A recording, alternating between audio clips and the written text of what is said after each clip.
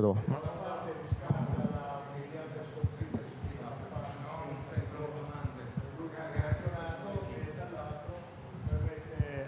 alla sua squadra di passare il turno e andare ai sedicesimi di Coppa Italia.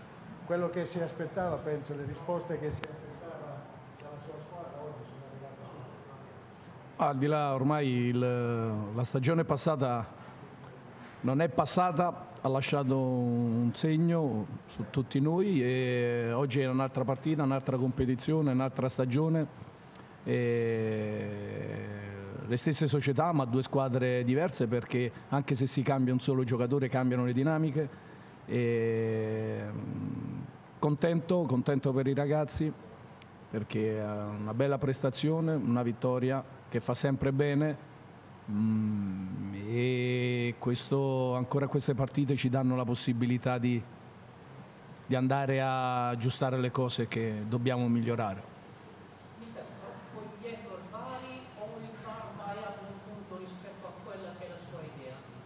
Ma non lo so, quello che è in casa altrui non lo so. Eh, un primo tempo è vero siamo andati subito in vantaggio, però um, era un palleggio non abbastanza fluido, e, um, non fluido da parte nostra, e, cose che noi sappiamo fare molto meglio.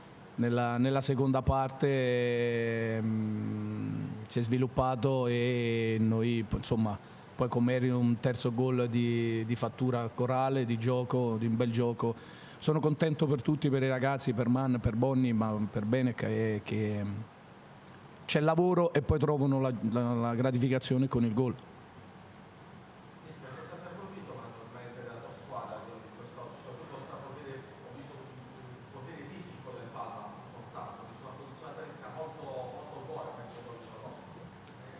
Però questa è una partita, ormai è andata e noi dobbiamo prepararci alla prossima e pensare in questo modo. E, mh, mm, testa bassa sul lavorare, sul, ma voglio una leggerezza maglio, mh, mm, migliore da parte dei miei, perché più riusciamo ad essere sereni, nella, le qualità vengono fuori.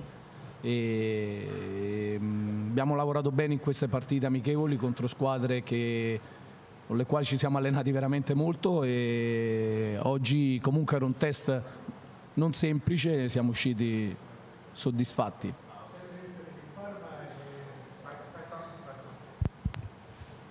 Il Parma è considerato una delle squadre candidate alla promozione quest'anno, a differenza di come è andata l'anno scorso. Lei ci crede? Ma a me tutto quello che si dice no, perché poi si parte, si riparte da zero tutti dicono è il Parma, poi l'anno scorso sono arrivati in finale due neopromosse e in semifinale nei playoff, uno è il Bari e l'altro è su Tirolo, per cui il campionato va giocato di partita in partita e quello che si dice fuori, i pronostici, non hanno almeno mi avviso alcun valore. Altre domande? Prego.